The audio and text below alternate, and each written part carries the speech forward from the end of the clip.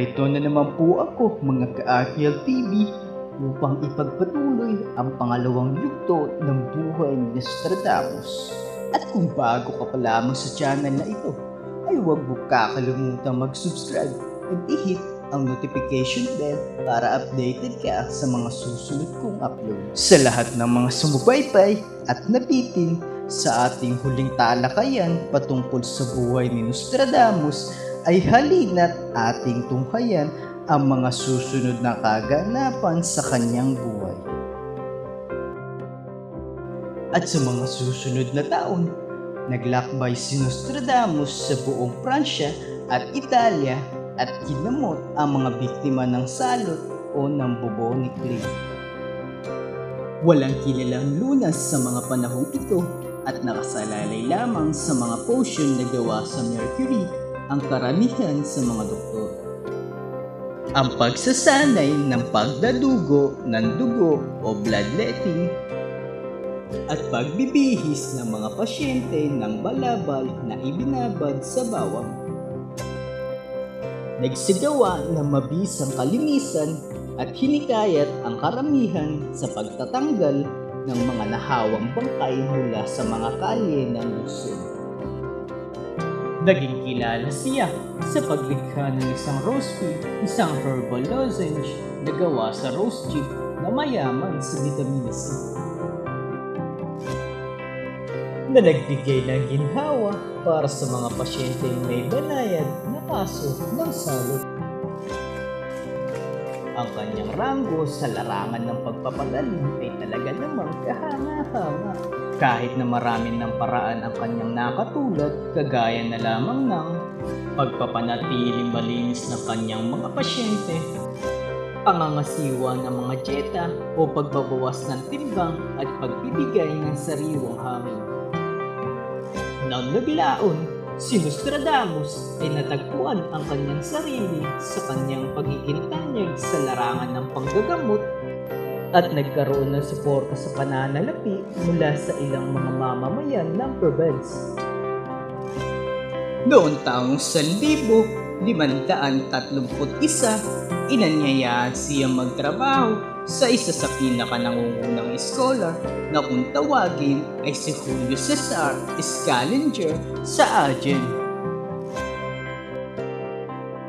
Sa timog kanluran ng Asya, doon siya kinasal at sa mga sumunod na taon ay nagkaroon ng dalawang anak. Noong taong 1534, ang kanyang asawa at mga anak ay namatay dahil naapektuhan ng salot. Habang si Nostradamus ay naglalakbay para sa isang medical mission sa Italia.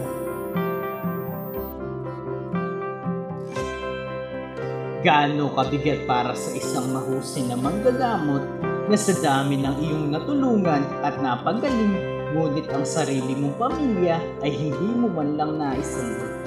Noong 1538, isang nakakaligalig na pahayag tungkol sa isang rebulto sa relihiyon na nagresulta ng mga paratang sa pananalapi laban kay Nostradamus na inutosang lumitaw sa harap ng simbahan para sa isang indesisyon. At matalino niyang pili na umalis sa lalawigan upang maglakbay ng maraming taon sa mga bansang katulad ng Italia, Greece at Turkey. Sa kanyang nasabing paglalakbay ay natagpuan niya ang isang misteryosong sinaunang paaralan na pinaniniwala ang gumising sa psychic na kakayahan ni Nostradamus.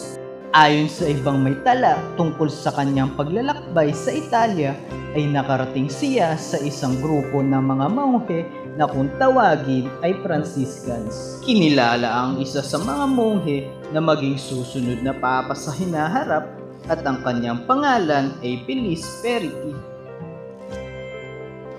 Naatasan siya maging papa at kikilalaning Pope Sixtus V noong 1585 at napatunayang tumama ang hula ni Nostradamus. Si Nostradamus ay bumalik sa Pransya upang ipagpatuloy ang kanyang kasanayan sa panggagamot para sa mga naging biktima ng salot. Noong taong 1547 ay nanirahan siya sa kanyang bayan sa Salon de Provence at nagpakasal sa isang mayamang byuda na nagngangalang Ponsarde. Nagkaroon sila ng anim na anak, tatlong lalaki at tatlong babae. At sa taong ito ay naisa publiko ang kanyang dalawang libro tungkol sa agham at medikal. At ang pangalawang libro naman ay tumatalakay tungkol sa isang musika para sa panggagamot sa salot at paghahanda ng mga pampaganda at tinawag itong The Drake Departments. Sa loob ng ilang taon ng kanyang paglalagi sa kanyang bayan, si Nostradamus ay nagsimulang lumayo sa larangan ng panggagamot at higit pa sa occult. Sinasabing bumubugot siya na maraming oras sa pag-aaral sa gabi sa pagmumuni-muni sa harap ng isang mangkok na puno ng tubig at mga halamang gamot at ito ang nagdadala sa kanya ng isang pananaw at pangitain. Ito ay pinaniniwalaan na ang kanyang mga pangitain ang batayan ng kanyang mga hula para sa hinaharap. Noong taong 1550, isinulat ni Nostradamus ang kanyang unang almanak na may tungkol sa astrolohiya. Ang mga almanak ay naging popular sa panahong ito dahil nagbigay sila ng kapaki-pakinabang na impormasyon para sa mga magsasaka at mga ngalakal. Sinimulan ni Nostradamus ang pagsusulat ng kanyang mga pangitain at isinama ang mga ito sa kanyang unang almanak. Ang pagsasapubliko nito ay nakatanggap ng isang mahusay na tugon na silbing upang maikalat ang kanyang pangalan sa buong Pransya. At nagpasya si Nostradamus na ibuhos ang lahat ng kanyang nalalaman para sa isang malaking kupos na nagngangalang siglo. Binalak niyang sumulat ng sampung volume na naglalaman ng sandaang hula sa susunod na dalawang libong taon. Noong taong 1555, inilathala niya ang Les Prophecies, isang koleksyon ng kanyang pangmatagalang hula. Marahil nakaramdam siya ng pagkabalisa sa pag-uusig ng relihiyon, kaya lumikha siya ng paraan para maitago ang mga kahulugan ng mga hula niya. Sa pamamagitan ng quatrain rhyme four-line na bersikulo, at mga halo-halong wika katulad ng Greek, Italian, Latin, isang dialekto sa katimugan ng France. Lumago ang kanyang katanyagan at siya ay naging isa sa pinakatanyag na figura sa panahon ni Renaissance. Naging matunog ang pangalan ni Nostradamus sa ilang kontrobersya sa kanyang mga hula dahil naisip ng ilan na siya ay alipin ng isang demonyo. Gayunpaman, marami pa rin naniniwala na ang mga hula ni Nostradamus ay galing sa kanyang spiritual na lakas. Si Catherine de Medici, ang asawa ni King Henry ng Pransya, ay isa sa pinakamasugid na tagahanga ni Nostradamus matapos basahin ng kanyang almanak noong taong 1555 na kung saan ay sinulat ni Nostradamus ang hindi pangkaraniwang banta sa kanyang pamilya. Ipinatawag siya mula sa Paris para ipaliwanag at iguhit ang mga horoscope para sa kanyang mga anak. Makalipas ang ilang taon ay ginawa siya tagapayo at doktor ng pamilya ni King Henry. Noong taong 1556 ay pinaliwanag din ni Nostradamus ang isang hula mula sa kanyang ikaunang siglo na tumatalakay kay Haring Henry. Sinabi ng hula ang tungkol sa isang batang leon na magtatagumpay sa isang mas matanda sa larangan ng labanan. Ang batang leon ay aksidenteng matutusok sa mata ang mas nakakatanda at siya ay hahantong sa isang malupit na kamatayan. Pinalaan Nostradamus ang hari na dapat niyang iwasan ang isang labanan na kung tawagin ay Jousting. Pagkalipas na tatlong taon, si King Henry ay 41 taong gulang ay namatay sa isang jousting match. Nanatili siyang buhay sa loob ng sampung araw habang nagdurusa bago tuluyang mamatay sa impeksyon. Binaging pahayag si Nostradamus tungkol sa kanyang nais sa publikong mga hula na ito ay binabase niya sa astrolohiya. Ito ay napag-aaralan niya base sa kalkulasyon ng mga planeta. Kasama sa napagkukuhanan niya ng kaalaman ay ang klasikong historian na si Plutarch. Maraming mga scholar ang naniniwala na inilalarawan niya ang mga hula sa katapusan ng mundo base sa sinasabi ng Biblia.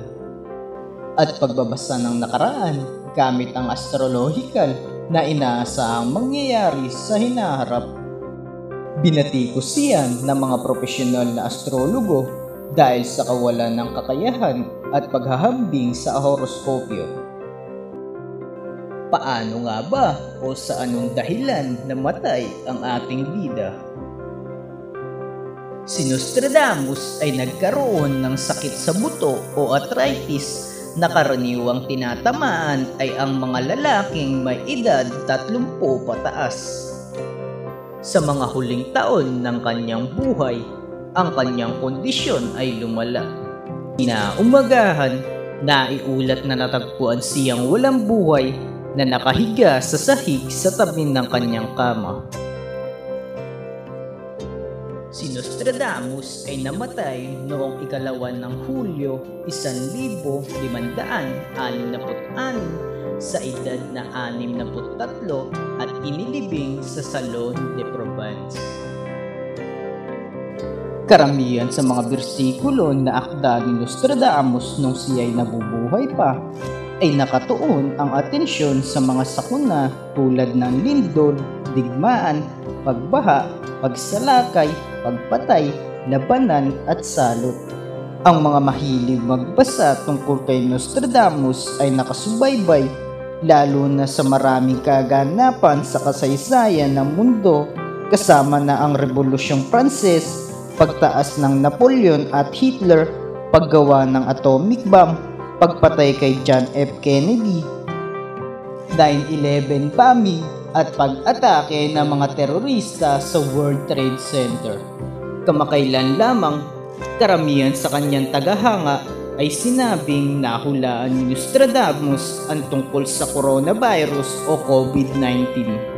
Ang katanyagan ni Nostradamus ay tila sanhi ng katotohanan na ang kamanghamanghang mga akda at ang kanilang kakulangan ng mga eksaktong petsa ay pinipili ang mga ito pagkatapos ng mga ilang kaganapan at ito ay isa sa publiko para masabing totoo. Lalo na sa mga naghahanap ng mga sagot sa mas mahirap na mga katanungan ng buhay.